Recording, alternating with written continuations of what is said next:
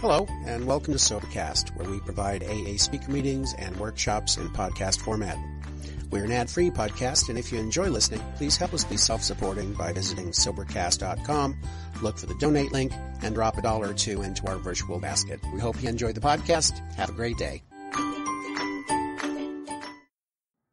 I'm Po Boy, and I'm a truly grateful recovering alcoholic. Hi, everybody sober one more day by the grace of God, fellowshipping with men and women just like you, trying to follow the simple direction of a program called Alcoholics Anonymous. I want to take this opportunity to thank the committee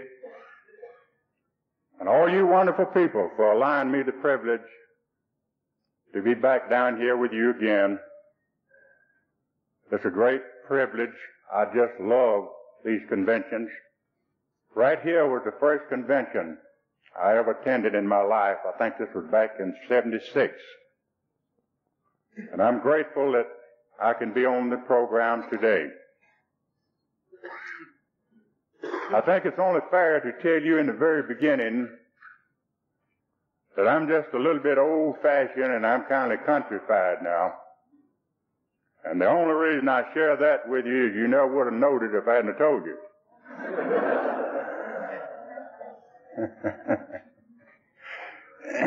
Anytime I'm in a crowd this big, uh, I often wonder if there might be somebody here that knew me before I got to this fellowship. And this reminds me about an old buddy of mine that lived over in North Carolina and he stole a man's milk cow. And they gave him 12 months in the chain gang. And when he finished his sentence, he was so ashamed of himself until he moved down in Georgia.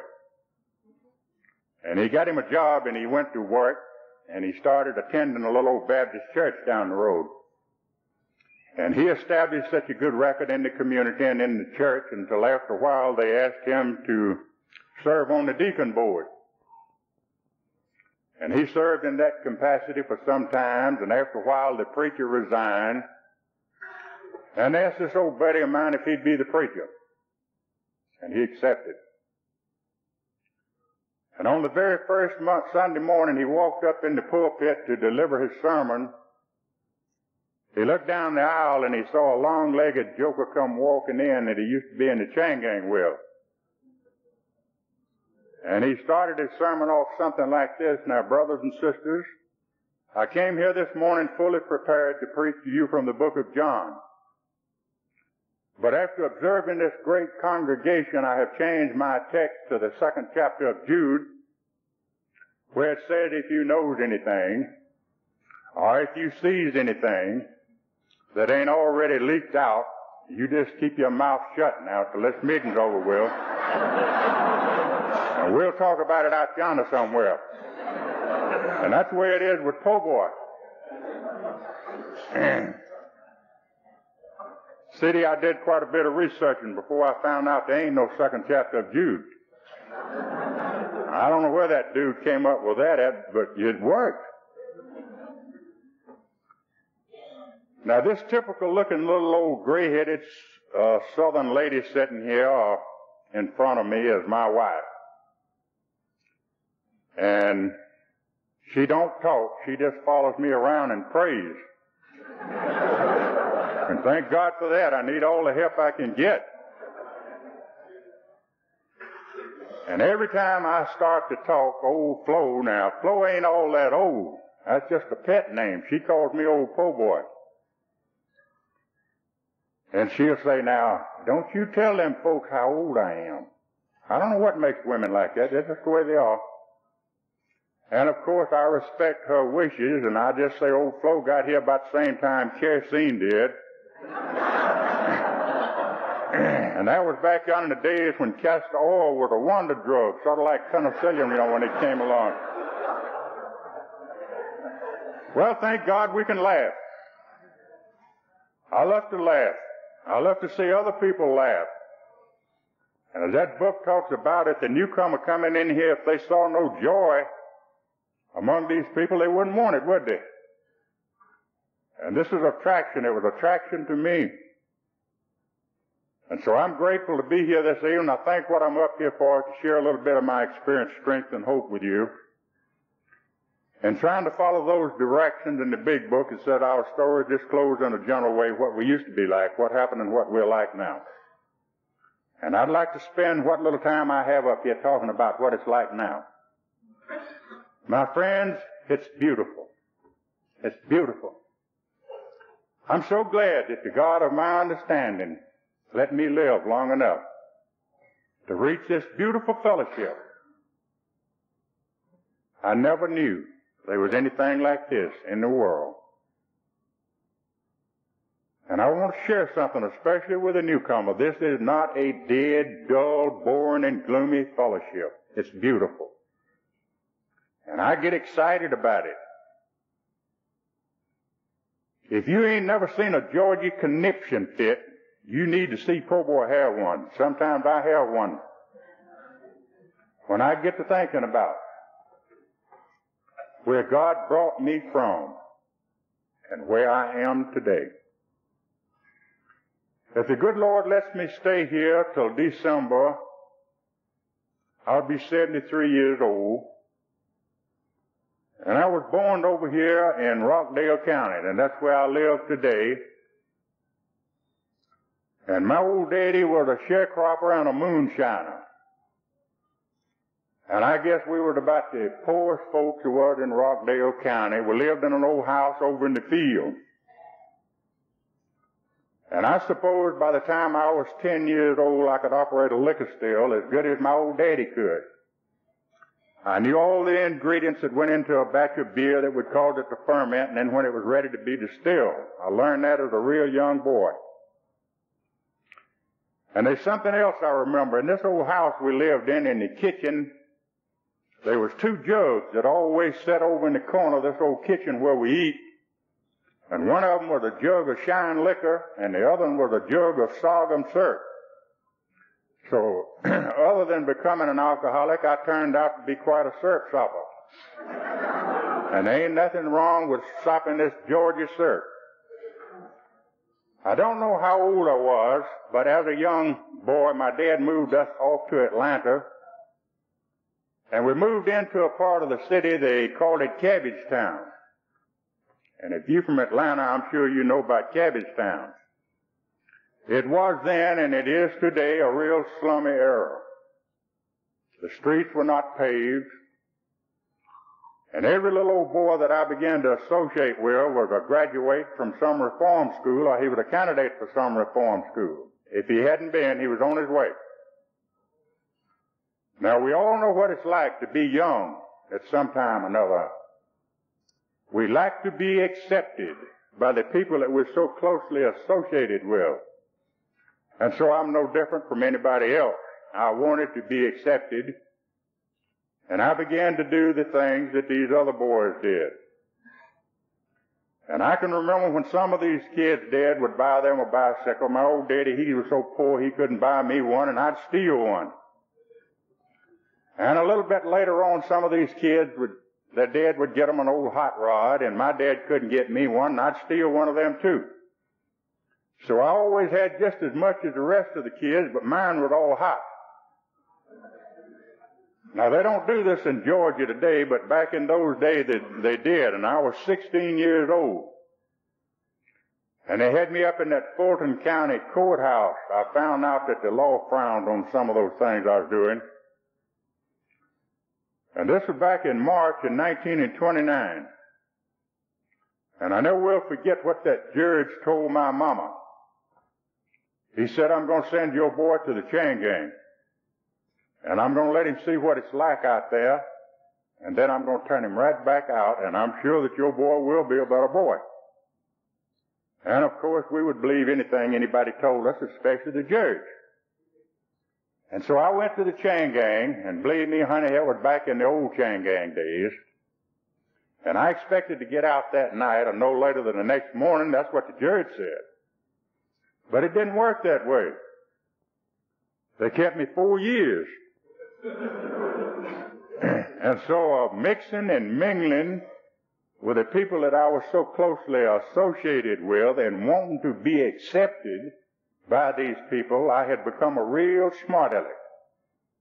Now I got another name for that. But you know what I'm talking about. I thought I had all the answers. I hated everything that stood for law and order, honesty, decency, and respectability. And this was the kind of person I was when I came back out on the streets of Atlanta. And of course, I couldn't tell you how old I was when I had my first drink of liquor. I was probably in diapers. My whole family drank it. Everybody we know drank it. And we didn't see nothing wrong with it. And so I drank liquor day and night. If it was possible, it seemed like my mother, she was just more than mama. And then like many mamas today, she upheld me in everything that I did. Her boy just couldn't do nothing wrong. And then like many young men today, I took my mother for granted. I can remember so many times when she wouldn't have streetcar fare and she would walk in the rain or whatever down to this old chain gang camp and bring me a sack of Bull Durham smoking tobacco and say, Mama loves you and we hope they'll let you come home sometimes. But this was Mama. Mama's supposed to do these things. And I didn't miss her until it was too late. Because just a short time later in a drunken stupor on the outskirts of Atlanta, I wrecked an old automobile one night and I killed Mama. And I never got over that for a long time. My God, the guilt, the nightmares. And I could hear Mama crying and begging and pleading, begging me to slow that car down and I wouldn't do it. I was a smart aleck. And it was my fault and I lost Mama. I continued to drink liquor and I began to run with some of the worst people in this country. A short time later, I was arrested, tried, and convicted and sent to serve over a hundred years this time. And they sent me back to the Georgia chain gang. My only hopes of ever being out again was to run out. And I run all my life and all over Georgia. Run, rabbit, run. So many of these men that I was so closely associated with they're not around today. Some of them were shot down and killed trying to escape. Some of them was killed out here on our street, the highway, by our policemen, and some of them went to the electric chair. So my friends, it's by God's amazing grace that this old man stands here this evening and tries to share a little bit of my experience, strength, and hope with you. I violated every rule that they had. And this was back in the days when they used old sweat boxes, the old stocks. And they whipped me with everything imaginable. And I continued to get worse. You don't win people like this. Sometimes somebody say, poor boy, how do you win them? There's a little four letter word that says L-O-V-E, love. Thank God. For this kind of love that I'm talking about because I've seen it move men that you couldn't move with a Thompson submachine gun. And this is what began to make a difference in my life one day. I found out that somebody loved old po' boy. And how in the world they could have loved a person like me, I'll never understand. I look at this sign up here. Love and fellowship. This is what it's all about. Thank God. Eventually the federal government built a place over in Tattnall County we call Reidsville, which is one of our state penitentiaries. The federal government built it and leased it to the state of Georgia and gave them 30 years to pay for it in. And the last year that Governor Eugene Talmadge was governor, he taken all the money out of the treasury and he paid the government off. And the next morning, the headlines in the Atlanta Constitution said the state of Georgia now owns the state penitentiary, lock, stock, and electric chair. And I was one of the first convicts to enter that new prison in October 1937. and they locked me up in a little cell for eight months until they could open up a rock quarry for incorrigibles over in Paulding County. And they sent me over there, and I remained over there for the next three years. But I managed to escape on two different occasions. And they sent me back to Reidsville under what they called a stop order, never to be transferred out again. I don't know how long it was, but it wasn't too long after that until we got a new, new warden down there. And out of 2,500 convicts, he picked 10 of us with the worst escape records. And he said, carry these men to maximum security.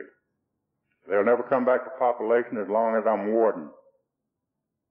We had a lot of friends and we had a lot of connections. And 30 days later we escaped from maximum security at midnight. We came downstairs and we captured the whole inside of the penitentiary. We'd taking over the front office, the powerhouse, the switchboard. Now this never happened before and it's never happened since then, but it did happen then. And I walked down through those cell blocks with a market basket full of keys and I turned everybody out that said they wanted to run away. I must have let a hundred out. And so we threw that main switch and we had a complete blackout. All the inside lights, the outside, the tower lights all went out at one time. And there was 25 of us went out those big front doors and taking cars off of the yard. And we left. And the other 75 that I had let out, they went down and broke into the commissary and got all that juicy fruit chewing gum and brown mule chewing tobacco. They didn't want to run away, they just wanted to steal something. They're full of larceny. And the governor offered a thousand dollar reward, dead or alive, for every one of us. And within another month's time, we were all back in jail somewhere, with the exception of one little old 17 year old boy. And he got drowned that night in the river. And so they started what they called an eight ball squad. Our heads were shaven. Was placed in a detail, they call it the eight ball squad. We were segregated from the rest of the inmates, placed out in a stump field, digging stumps. And every state trooper in the state of Georgia had to come down there 10 at a time and stay 10 days guard duty over this detail. That they might know these men anywhere on sight. We were not allowed any visitors or any mail privilege, and of course we had no money, not even any lights in our cells. So many of these men began to break their arms, break their legs, and to cut their heel tendons, known as the heel string. Some of them crippled themselves for life. And the word got back to the, uh, the capital as how these men were crippling themselves. And the governor picked a group of men to come to Reidsville, make an investigation and report back to Atlanta as to how to stop this. He picked the president of the Senate, speaker of the House, a lot of judges, probation officers, newspaper reporters, and photographers. And one other man I'll never forget as long as I live. His name was Mr. Wiley J. Moore. And Mr. Moore was a millionaire banker in Atlanta. And the governor asked Mr. Moore to head up this group and said the state of Georgia will back you men up 100% in any recommendation you make. They came to Reidsville and we were driven out of this old muddy river bottoms into this old dark cell house. And Mr. Moore said, open the door, I want to go in here and talk to these men. And they said, you can't go in there because it's too dangerous. And this was the first time in my life I ever heard anybody talk about God in a respectful manner. Mr. Moore said, I prayed before I came down here, and I'm not afraid to go in there. And he wasn't. They opened the door, he came in. And we followed him to the rear of this old cell house, and we sat down in a big circle. And Mr. Moore sat down in the center of this group with tears just flowing down his face and he brought us a message. He talked about the God of his understanding. He said, it's not for sale, you can't buy it. And the most amazing thing of all, he said, you don't have to be good to get it. It's a gift. I could not for the life of me understand this kind of talk. But I never forgot that message. And for many, many years after that, while out digging stumps, digging ditches, I would think about that message that man brought me. I'd never forgot it.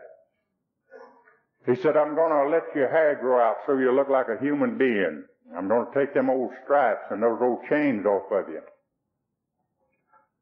He said, I'm going to let you pick any job in this institution that you want that you might learn a trade that'll be worthwhile to you one day on the streets. He said, I don't care how many life sentences you're serving. If any man in this detail would just do five years with a perfect record, I guarantee you a parole. What an opportunity.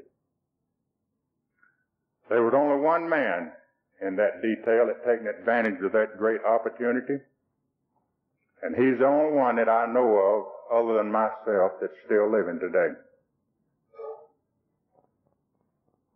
He did learn a trade.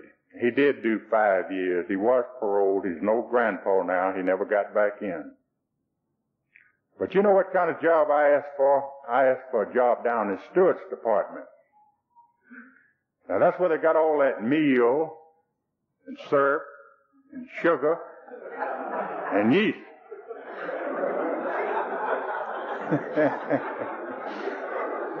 I intended to stay drunk. And I did. A lot of people ask me, poor boy, how in the world do you drink in the penitentiary? I got news for you there, honey. Reidsville, back in those days, it was easier to get than it is up there in Rockdale County where I live. You didn't have to walk as far as it.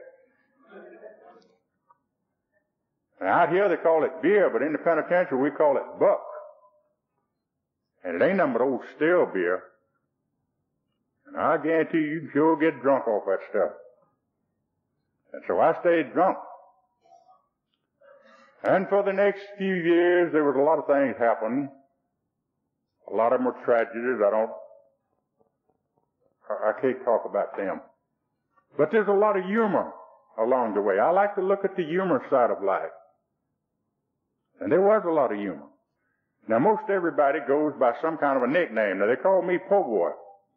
And I had a little old buddy there. He, he had a nickname too. They called him Hitler. Hitler would weigh just about 75 pounds soaking wet. And if there's anybody in Reidsville that loved that old buck as good as I did, it was old Hitler.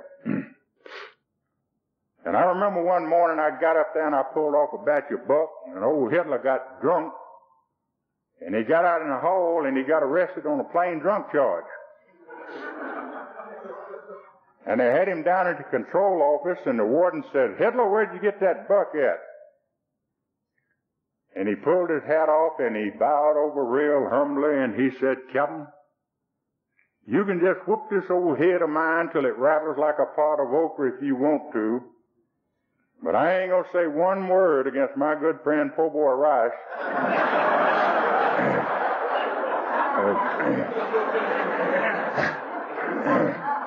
old Hitler swore he didn't snitch on me.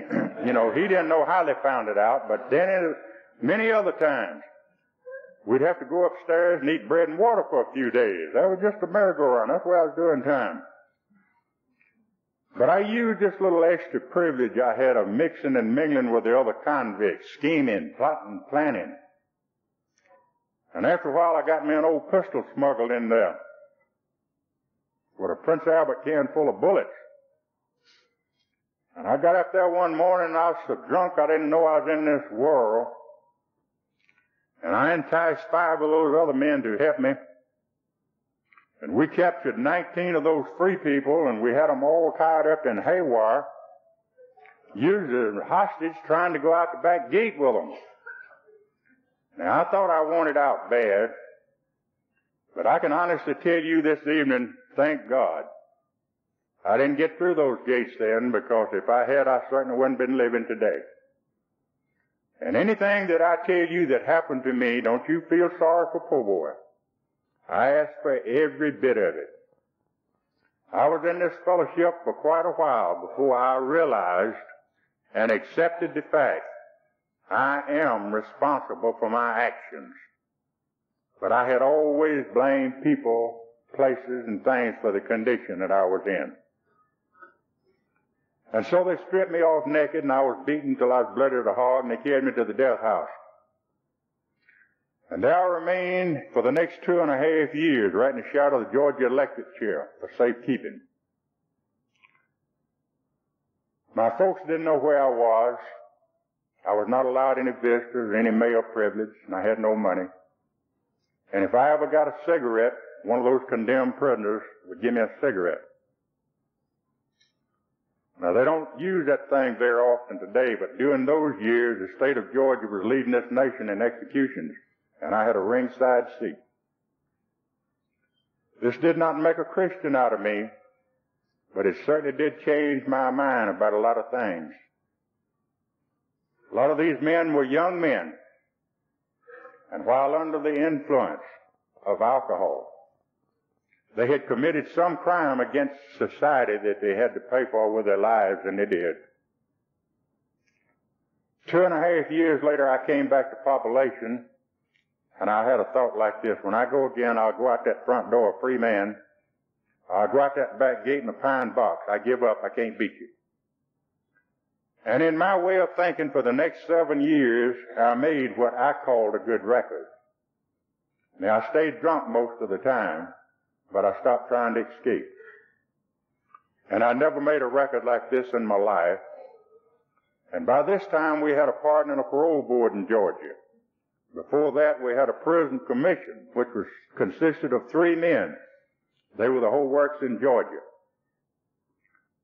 And every year, the pardon and parole board, they would come down and talk to me. Sometimes they'd make a recording of my attitude and carry it back up to Capitol and play it.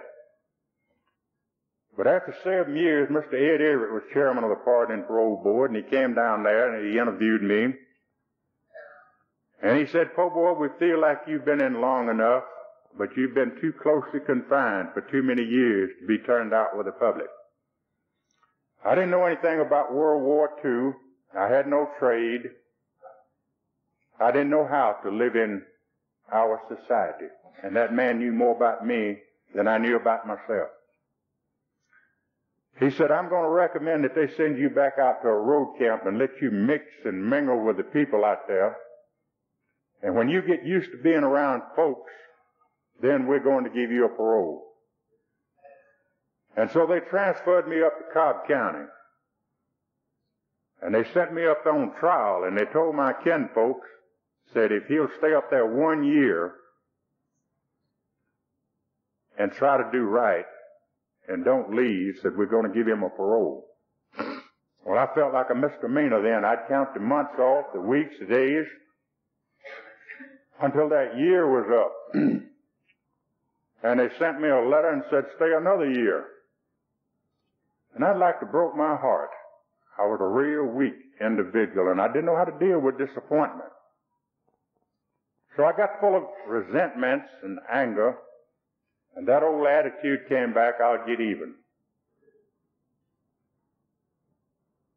And I thought when my folks come out here Sunday, I'm going to get what little money they got and I'm going to leave because I could have very well left then.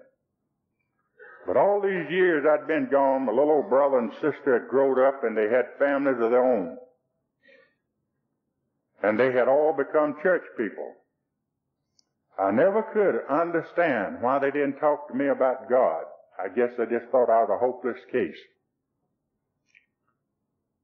But as my sister came out there that Sunday morning, she brought me another little message.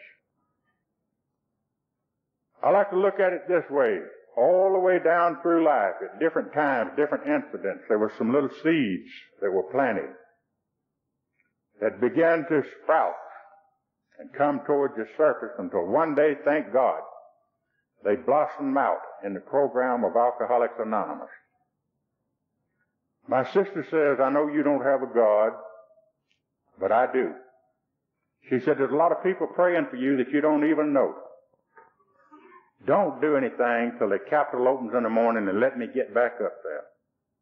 And I owed my sister a lot because she had run her legs off for many, many years trying to help me. But then, just like my mother, I had took her for granted. You are my sister. You're supposed to do these things. I told her I'd wait.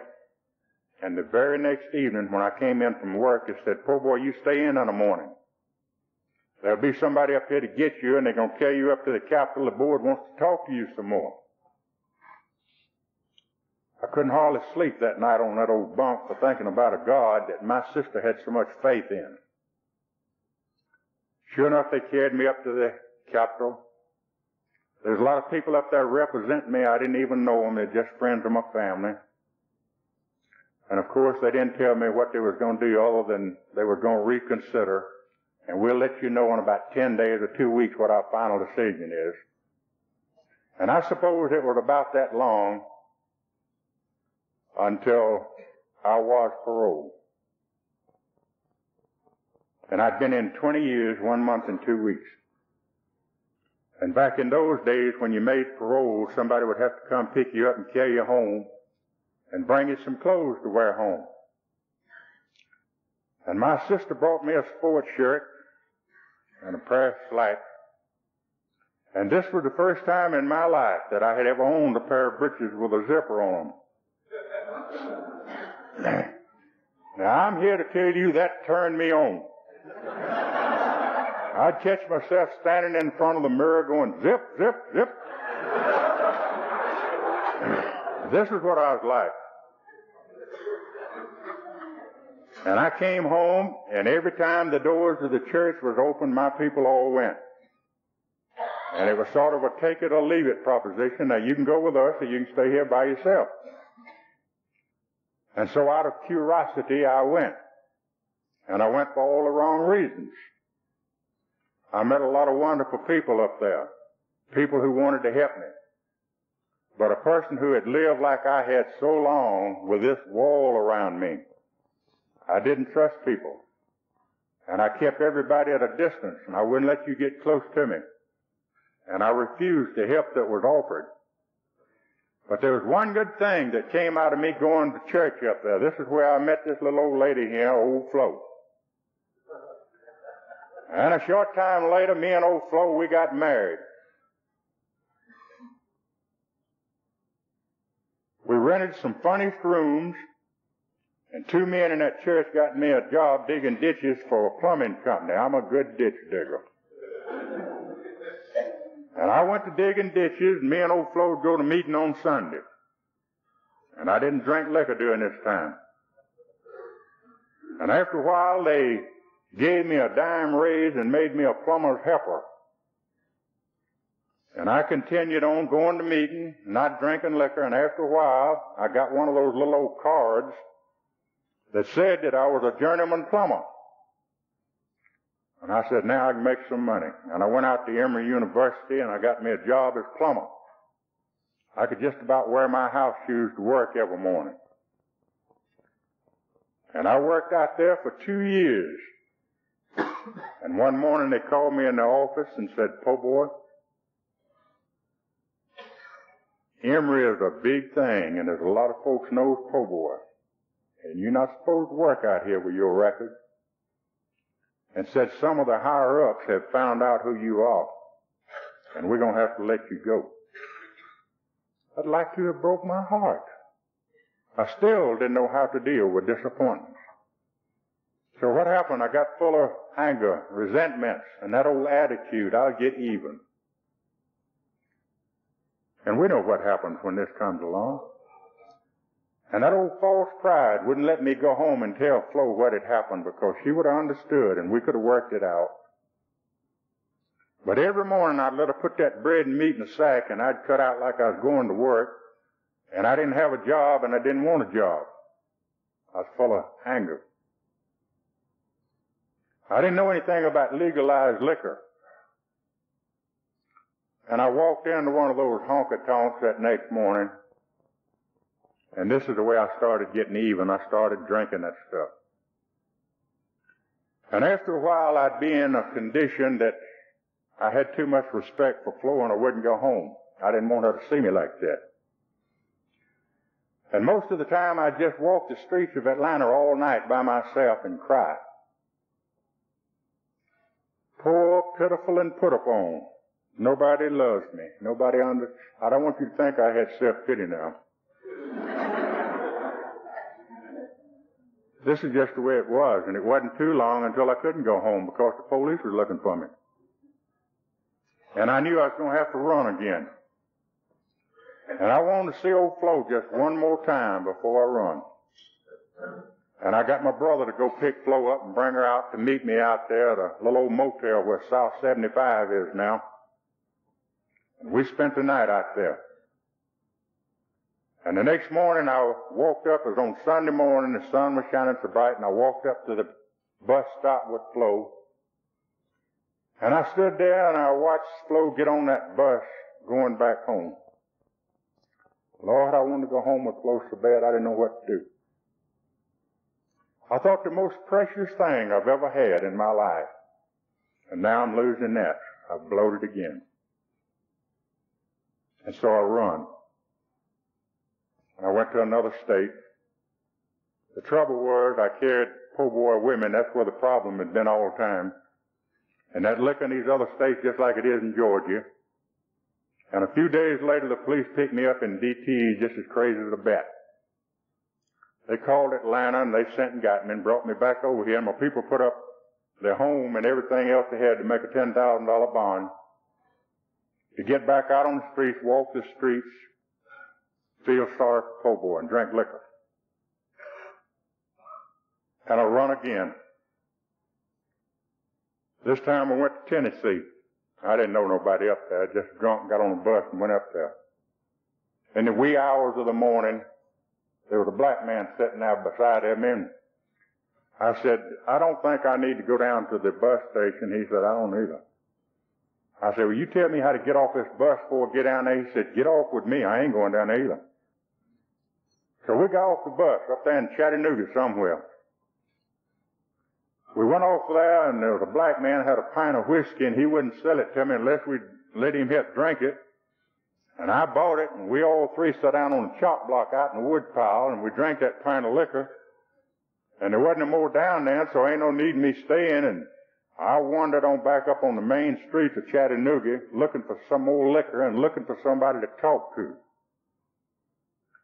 And there wasn't nobody out there but me.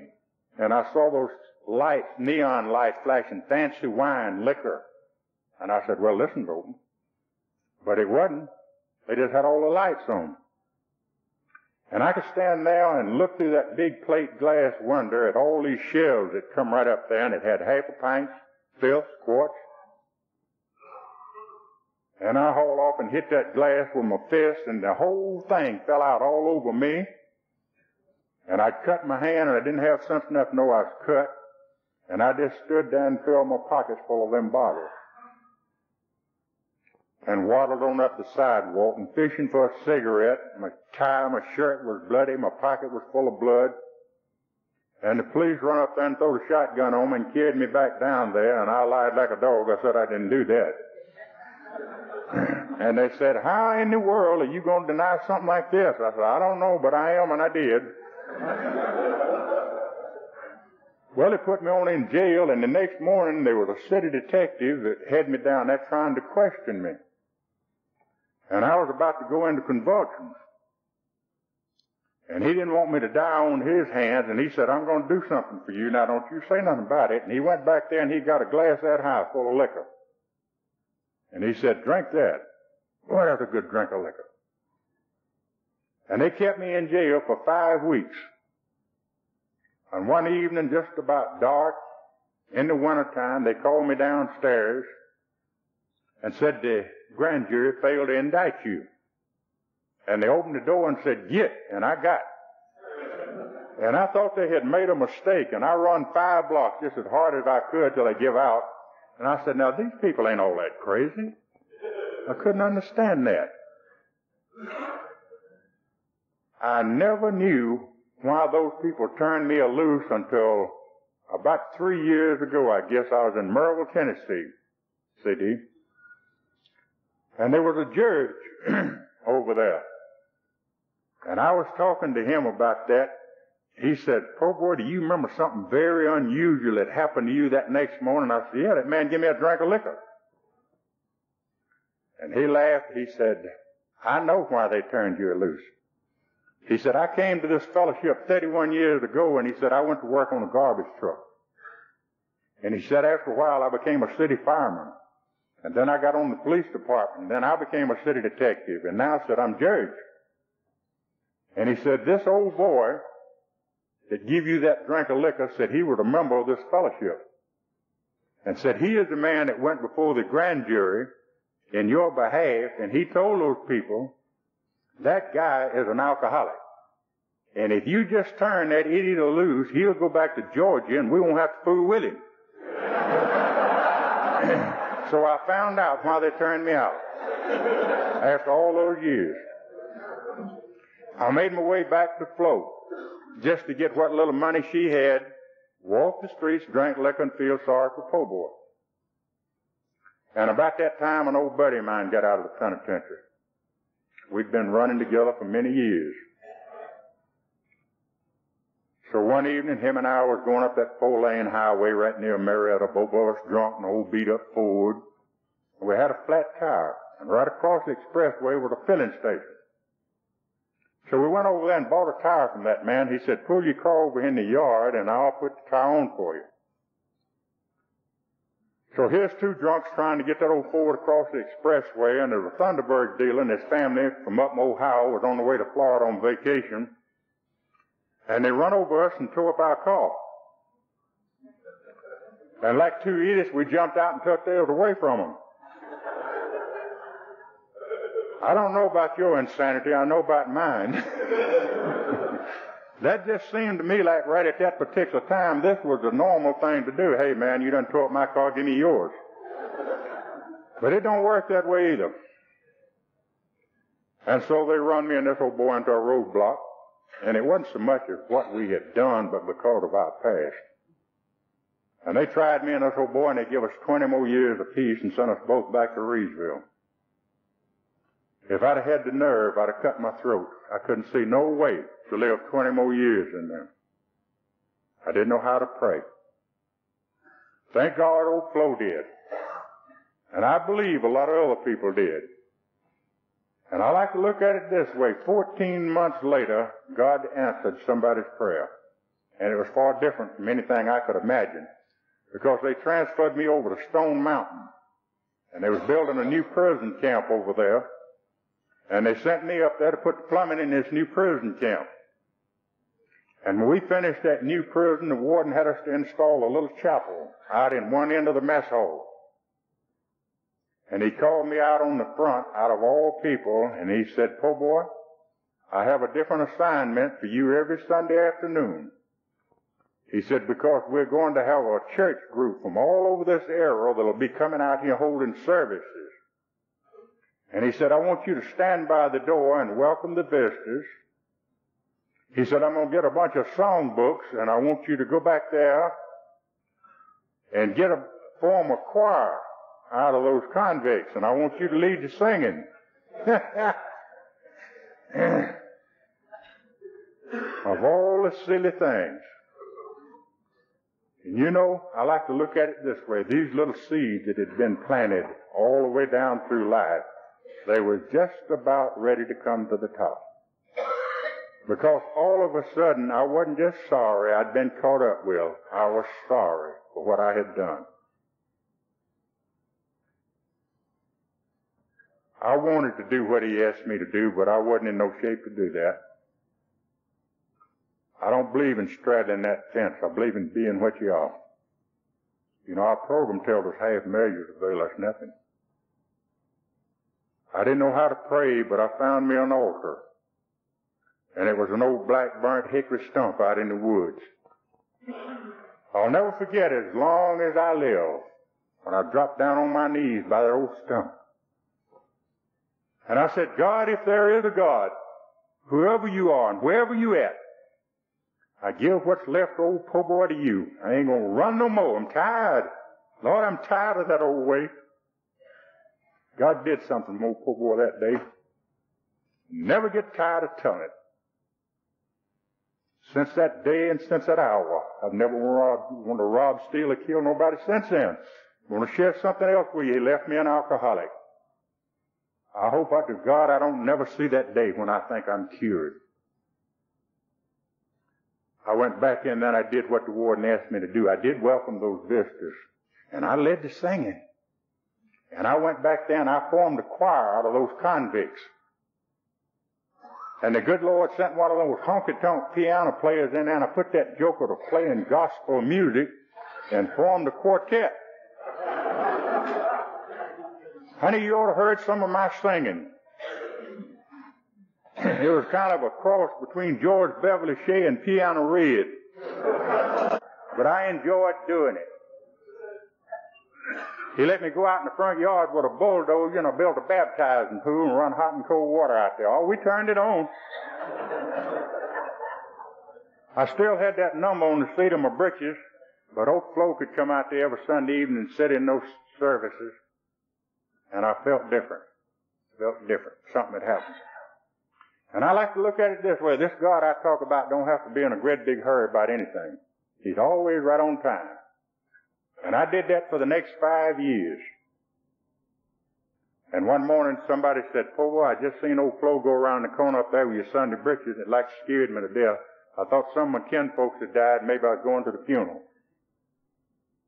But that wasn't the way it was. Miss Rebecca Garrett was living then and she was chairman of the Pardon and Parole Board. Maybe she still had a little faith in me. I don't know. But somewhere between six and seven years there, she had decided to parole me again. And Flo and I went home that morning. We didn't have a dollar and a half between us. We still couldn't hire a lawyer, but we knew where our help had come from. I went back to work at plumbing work for the next three years. I didn't drink liquor. Then I got tied in with a gospel singing group. We moved around a lot singing. Three more years and I didn't drink liquor. And then I taken a job as maintenance man for a big motel. And of course, with all the conventions they had, the liquor and the beer was flowing very freely. And I didn't have sense enough to know I'm an alcoholic. I can take it, I can leave it. I haven't had a drink in many years.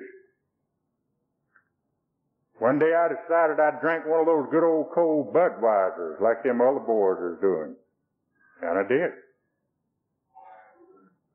My friends, when we're reading that big book that this is a progressive illness, and it always gets worse and it never gets better, please believe that.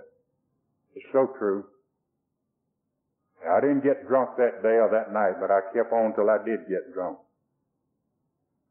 And this was the worst drunk I'd ever been on in my life. There wasn't no turning back. And I stayed down drunk for one solid year. This is when the terror, despair, the fear, I never knew what fear really was until that last year of the practicing alcoholic. Flo didn't know what to do with me. Nobody knew what to do with me. Finally, somebody told Flo, said, put him over in Peachtree Parkwood. She did. I went in there drunk and come out drunk. They had a little deal going over there back in those days. The first three days you was in there, every two hours around the clock, they'd give you two ounces of 180 proof alcohol and a little fruit juice. They call themselves tapering you off. You better believe every two hours around the clock I'd be standing at that nurse's station waiting for my medicine. And then all them pills is rolling at me. And I found that doctor to let me stay on it an extra day because I was a real nervous person. So when I came out, I was still drunk. We'd spent what little money we had, and the insurance was used up. And from then on, I'd have to go just wherever they'd take me. And I made the rounds, all of them. The last alcoholic hospital I was in was over that GMHI. And I'm sure it would have been the same old merry-go-round with exceptions of one thing. On Monday night, they had an AA meeting out there. And so they announced on the loudspeaker that they had an AA meeting out in the lobby. And so once again, out of curiosity, I went out there, you know, to see what these cats are putting down. And there was a very dear lady friend that was in that, of mine that was in that meeting that night, and she said I looked more like a dead man than anybody she'd ever seen.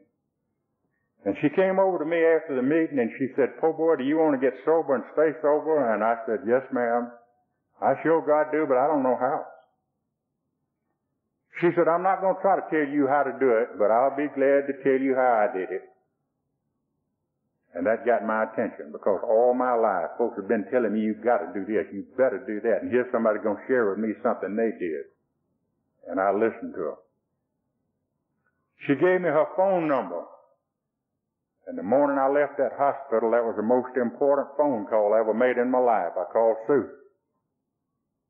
And she got the little meeting book out and looked up the closest meeting to where I was living at in Stone Mountain,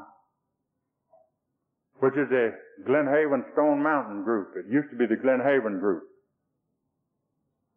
She said, they got a meeting over there tonight. You get yourself over there. And I went. And this is when I count my sobriety date. It was uh, my day, first AA meeting outside of an institution, which was December the 12th in 73. And I could just imagine all kind of questions those people were going to ask me. Who sent you over here?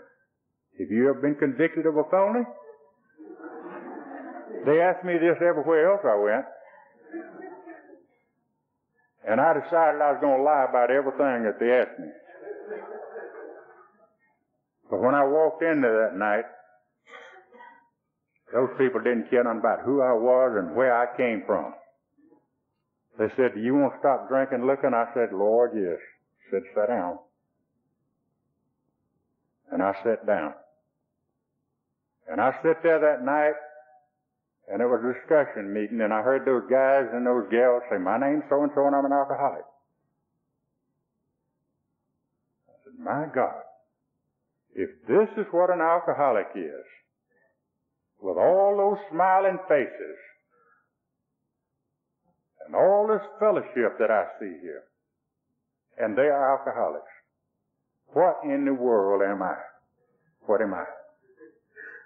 Now I know a lot of people have trouble with that first step. I didn't.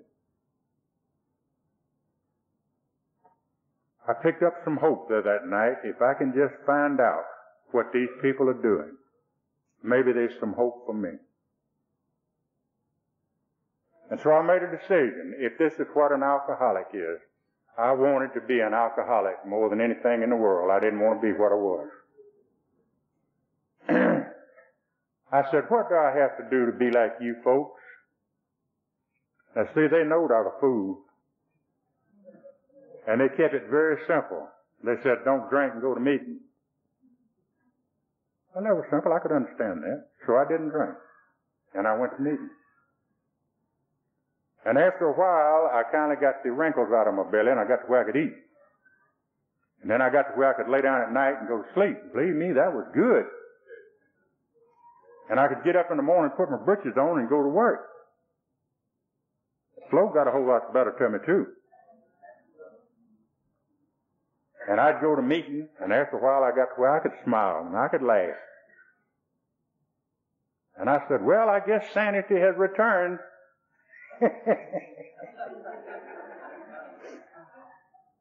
I'm the only person in my home group that I know of to ever give a birthday in six months. the night I had six months without the drink, the man who eventually became my sponsor, I just hated him then. His little old wife baked me a cake and brought it and said six months on it. Oh boy. And I thought, I never have had a birthday party in my life. Tonight I got a birthday party given to me by a bunch of sober drunks. Well, every six months they'd get them a new secretary. So I had my six month birthday party and they made me secretary of the group. See, they wanted me to keep, they wanted to make sure I'd be there. But I misunderstood. I thought, now I own my own group.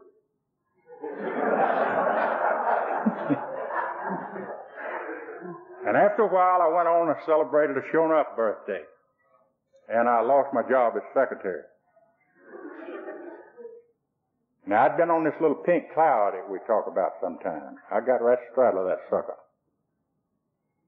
Well, after I lost my job as secretary, just don't do, take no action other than just don't drink and go to meeting.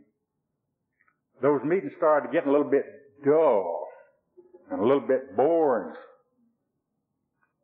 And the old boy that I was most critical of, of anybody else in there, because every time he would be sharing, he'd say, well, the big book says 20 feet. I didn't want to hear that. I always thought I was doing all this myself. I didn't like him. My friends, that almost got me drunk. As close as I come to getting drunk since I got to the, this fellowship. Because one of those big lumps that we talk about came along and fell in my lap, and I didn't know how to deal with it. And I left my house and I went to the liquor store. I intended to get drunk. I knew I was going to get drunk, not really wanting to get drunk. And as I sat there in the parking lot of that liquor store, I remember something an old timer shared with me right after coming in the program. And he said, Po boy, he said, I sat in a parking lot one night and I watched my wife and little children go back down the road going home to her parents because as a practicing alcoholic, I couldn't support them. And he said, I bowed over that steering wheel and I asked God to help me. And he said, to help King. And I remembered that right at that moment, and I too. I said, God, I can't help myself. Please take that craving away from me. Don't let me get drunk. To help King. I haven't wanted to drink a liquor from that day till this. I turned around went back home and I went back to my group. And I knew that if I was going to stay sober, there was a little bit more to it than just don't drink and go to meeting. And I knew I didn't have sense enough to do this by myself. And guess who became my sponsor? This old boy that was always talking about the big book. And I went to him and I said, would you consider being my sponsor? He said, Po boy, this is an honor that you asked me to be sponsor somebody like you. But said, what's the big deal? Man, I've already seen you celebrate a birthday. And here all of a sudden you feel that you need a sponsor. And I said, well, my program ain't working too good right now. And he said, oh yes it is. He said it was your program that got you to our program and it's called Alcoholics Anonymous. And he said, if I'm going to be your sponsor, the first thing that you're going to have to do, or we're going to have to do, is get rid of your program before you get drunk.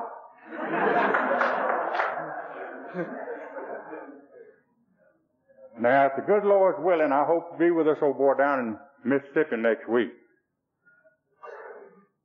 This man that I despised so in the beginning, I love him like a brother today. That man got me in to the program of Alcoholics Anonymous. I didn't have sense enough to do a four-step inventory, but with his help,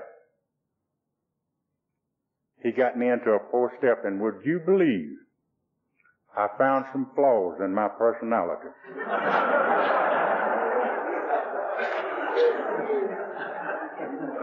yes, most of them buried deep under those thick layers of self-justification. And I made this searching moral inventory. And when I had went as far as I knew how to go with this, I called him up one morning. I said, I have finished my fourth step. I want to do the fifth. He said, say what? I said, I done finished my fourth step. He said, you got a 12 and 12? I said, yeah. He said, turn to page 15. I did. He said, what did it say? I said, it said made a beginning on a lifetime practice. He said, you through yet? I said, no. he said, you done went as far as you can? I said, yeah. He said, bring your inventory and come on over here. My wife stayed upstairs with his wife. He took the big book and I took my inventory and we went to the basement and locked the door. Now we talk about the spiritual awakening that comes as a result of these uh, steps. My friends, there were some spiritual experiences along the way, and that was a ditty on step five. When I talked with another human being about the exact nature of some of my wrongs, some of these things I thought I would have carried to the graveyard with me. I'll never forget it long as I live. It's beautiful. This old boy was transferred several years ago down to Jackson, Mississippi. I get to see him not too often, But I can write him. He can write me, and I can call him every once in a while. I got me another one. In fact, I got two now. And ain't neither one of them been sober as long as I have. But that ain't what I look for in a sponsor. It's not quantity, but quality. And they offer a lot of help to me too.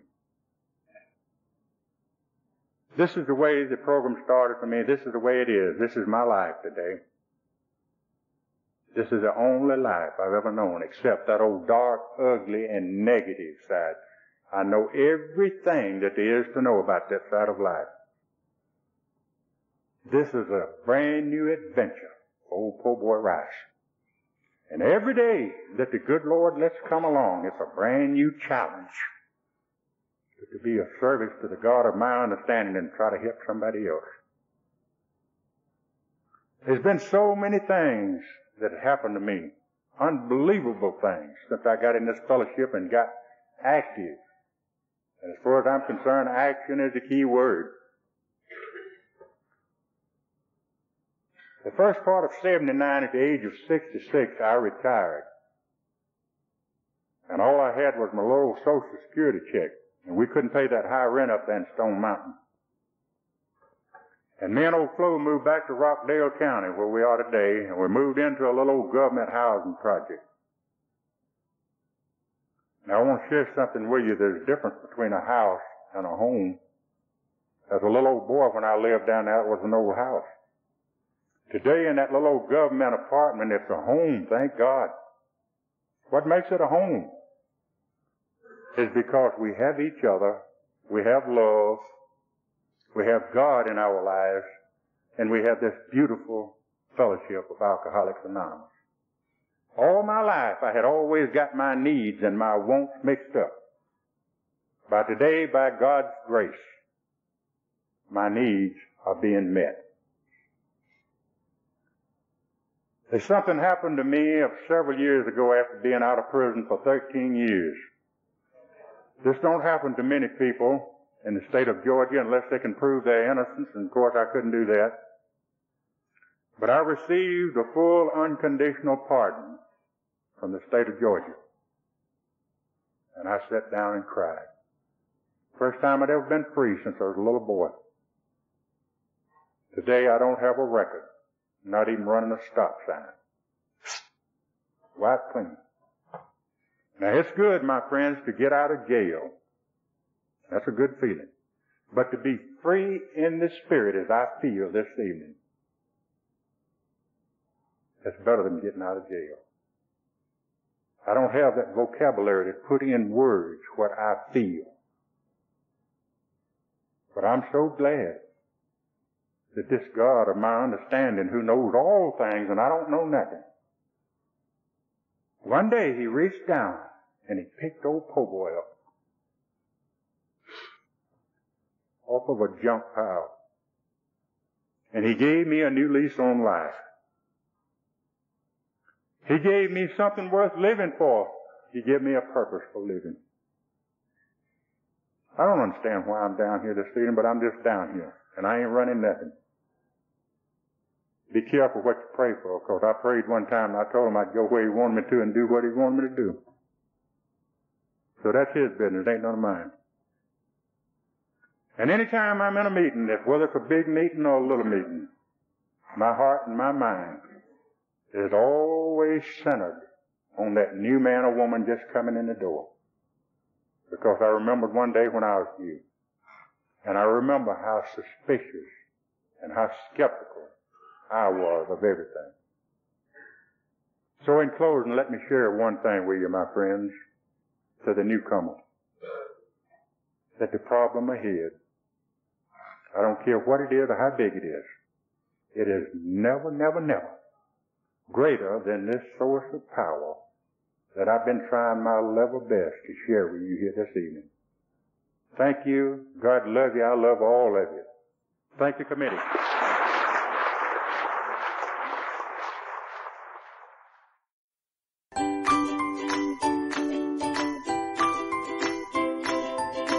Thanks for listening. I hope you enjoyed the podcast. Sobercast is ad-free, and we'd like your help in order to keep it that way. So if you'd like to help us be self-supporting by pledging a dollar to a month, visit Sobercast.com and look for the donate links. Thank you very much.